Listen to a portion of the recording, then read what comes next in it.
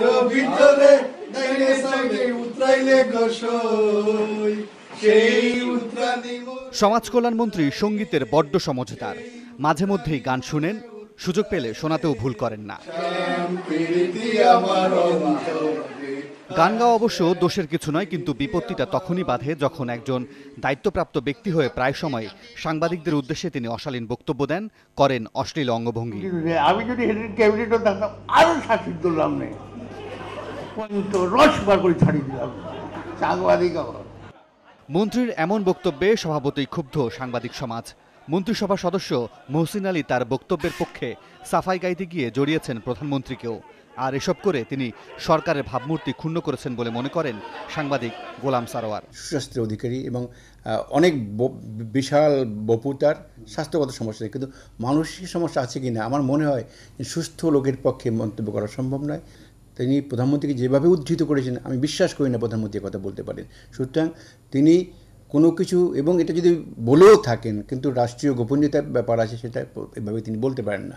শুধু আমি মনে করি তার সম্পর্কে সিদ্ধান্ত গ্রহণ করা দরকার, তার নিজেই গ্রহণ করা দরকার। যেহেতু তিনি অনেক অনেক বিতর্কিত হয়ে গেছেন।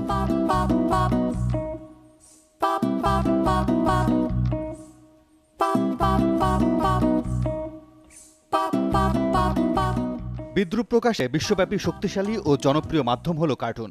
প্রকাশ্যে ধূমপান অনুষ্ঠানে ঘুমিয়ে পড়া এবং অশালীন বক্তব্য দিয়ে মহসিন আলী এখন আলোচনা সমালোচনার তুঙ্গে। দেখা যাচ্ছে যে উনি পাবলিক প্লেসে বলতেছেন। উনি তো এরকম কোনো ইয়াতে না যে প্রাইভেট কোনো কিছুতে বলতেছেন। উনি পাবলিক প্লেসে কি বলতেছে এটা সম্পর্কে তার অ্যাওয়ার হওয়া দরকার। মনোরহস্য নিয়ে পড়াশোনা আর গবেষণা চলে ঢাকা বিশ্ববিদ্যালয়ের চিকিৎসা মনোবিজ্ঞান বিভাগে। এই বিভাগের শিক্ষক ডক্টর মাহমুদুর রহমানের সাথে আলাপকালে তিনি বলেন বারবার দুঃখ প্রকাশ করে আবারও একই কাজ করা মানসিক সুস্থতা লক্ষণ নয়।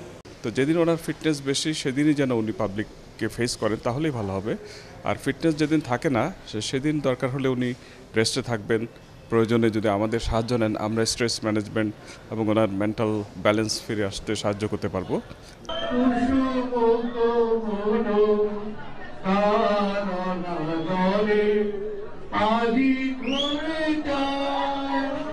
মনোবিজ্ঞান বলছে গান নানামুখী চাপ কমায়। ডক্টর মাহমুদুর ও সাংবাদিক গোলাম সরোয়ার মনে করেন সরকারের উচিত নানামুখী চাপে থাকা সমাজ কল্যাণ মন্ত্রীকে আপাতত বিশ্রামে পাঠিয়ে দেয়া অথবা দায়িত্ব থেকে অব্যাহতি দেয়া।